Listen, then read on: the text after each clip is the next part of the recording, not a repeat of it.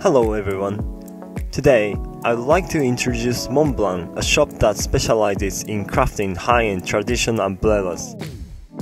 With its splendid craftsmanship and the beauty of its umbrellas, Montblanc was honored with the Tokyo Governor's Awards in 2022. Western style umbrellas incorporate elements of Japanese aesthetics, making them suitable for kimono as well. 一マスじゃないんだけど、ちょっとこういうふうにあ色が違う。あ、本当だ。で、これがもう創業創業当初から。The shop was founded 63 years ago by the current owner's father, and his wife, Mrs. Yamaguchi, also learned umbrella making after their marriage. 骨の組み立てからさっきの教わったから、あ、先に骨の組み立てそれじゃなはいと理解できないじゃない。どうやって骨が構造になってるかっていうのがわかんないから、それを習って、そんな奥が深いなっていうのが逆に、だから単純じゃないから面白いっていうのはあるんだよね、でも。はい。上を極めるのはどうすればいいのかなっていうのは、はい。終わりは私はないと思ってるんだけど、Hirose-san, who has been working here for two years, is one of the craftsmen. で、はい。えーその後も縫製の仕事をしてて、はい。で、日本製のちょっと、私からしたらもうちょっとはい高級なはい傘を一本買ったら、はい。あ、綺麗と思って、はい。もうなんか、これを作りたいみたいな。はい。で、職人になりたいなと思ったんで、へ Now, let's take a look at the production process. Western style umbrellas are made through division of labor due to the many parts involved fabric, ribs, handle. 分かれてるからー。。そっか。もう完全にこう分業でやってらっしゃるんですね。 The fabric is produced using the technique called hogushiori. 縦糸だけなんですよ、これ。横入ってないんですよね。 This involves initially weaving the fabric with the temporary weft threads, then dyeing it, and finally reweaving it without the temporary threads. はい今度横糸を本当に入れるとこういうふうには生地になるっていう。やっぱ水のきれいなところで、やっぱりはいその旗屋さんっていうかこう、はい。はい。浜梨の方で織ってる。なるほど。 The slight displacement of the warp threads during reweaving gives the fabric a soft and warm watercolor-like pattern. プリントだったらカチッとした、丸は丸ね、四角は四角ってなるんですけど、はい。 これ近くで見ると離れればちょっともっと鮮明に見えるんで、あいやだから本当に生地なんかす、まあね、触っ、まあ、はいそうそうそうあれでも触ってもらってもいいんあ。だけど、ああ、ありがとうございます。あの、はい。全然触ったらはい生地違うって多分すぐ分かってもらえると思うんだよね。あ、全然違う。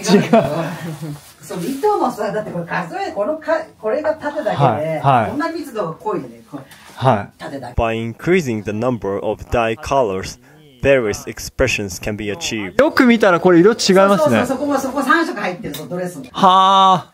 これだともうざっとなんか9色ぐらい入っちゃってるんそう、ですかね。そう9色あるんです。 Once the fabric arrives, it is cut to fit the wooden molds.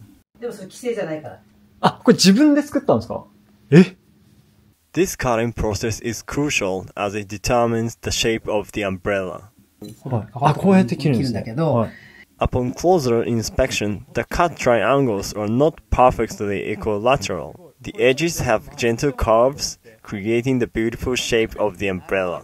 はい。 R つけてないと、はい傘開かないから。 The cut fabric is then sewn together using traditional techniques. これもまあ雨入ってさ、はいこう使えるやつ。は The method of sewing from the center of the umbrella circle is called kanto stitching and is known for bringing out of beauty of the umbrella's shape. で、今簡単そうにそうやって縫ってるけど、はいきっちり下合ってるんだよね、ちゃんと。だから本当は下から縫えば、い。はい。上でごまかしが効くんですよ。上は見えないかはい。こっちは、あの、最後、はいまとめてしら。まうので、かはい。はい。ら。だけど、う関東の人は上から縫わなくちゃいけないから、はい。下がずれちゃったらダメだっていう。柄がずれたへりしてしまうので。Mont Blanc continues to adhere to this traditional technique. 糸も普通の糸じゃなくてね、超撥水のあ撥水性があるやつ、ね。水性の、ただの撥水じゃなくて、超ただの超撥水一応そう、超撥水。超撥水。They also pay attention to the thread used employing wax-coated threads, known as wax-drawn threads. あ、本当だ。なんかちょっと濡れてます。ああ、ぜ違いますね。で、そういうのは、こういう骨につけたりするのもロー引きの糸を使って、は締まるんだよね、その方の糸,、はい糸の方が。うんし締まるっていうのはどんな最後ギュッと締まる。あ These threads are resistant to loosening, and by combining two threads into one, they enhance strength. 本当は一本あで、一本のこのベタベタのローの効果で、あはい。二本にくっつけて、そういうことか。太めの一本なるほど。いやよくよくわかりました。と、あと丈夫で、はい。はい、ほつれにく、はい。ほどれけにく。なるほど。わかりました。ありがとうございます。The shafts are made from domestically sourced oak, known for being lightweight yet durable. 国産の手、国産の会社。かし高いんですか？高い。軽くて丈夫だから。へえあ本当で、だこれ板じゃないでしょ。はピアノ線なの、これ。いピアノ線手が痛くないでしょ。あ痛くないです金具みたい金属じゃないから。あ痛くないですここもそう。へえ本当だ痛くない Finally, the handle is attached, completing the umbrella. ここに対してまっすぐにつけるわけ。ははははいはいだから、大体安物の傘なんか、あさっての方向向いちゃってる。うん。ちゃんとここがストレートになるようにストレートになるようにそうつける。Framework is made of carbon, making it lightweight and durable. 軽っ軽いでしょ？カーボンだからしなるの。ええこれ大丈夫ですか？そんなグニグニってしちゃってカーボンの。The finished umbrella hides the name of the craftsman. 作った名前をちょっと入れ入れてるんだけど、やっぱ自分の名前を押すってことはさ、責任持たなきゃダメじゃない？あ最後作った人の名前がどっかに塗ってあるってことですか？か 隠して、隠して隠して入れた。どこに隠してあるんですか？ここの中にハンコをして。裏にハンコをして、あはい。あ塗ってしまうと見えないので、あこれ誰が塗ったんだってなる後で、そう。と、はだから、買ったけどすぐボタン取れちゃったとか言われたら、誰だ誰だっつって言われることはできまええ面白い。Mont Blanc umbrellas are sturdies, so with careful use, they can last for decades. だからあんまり大して綺麗じゃないんだよ。いえいえ大して綺麗じゃなくても、20年経ってても、はいいや全然綺麗ですね20年経ってるとはもうちょっと全く思えないですうん。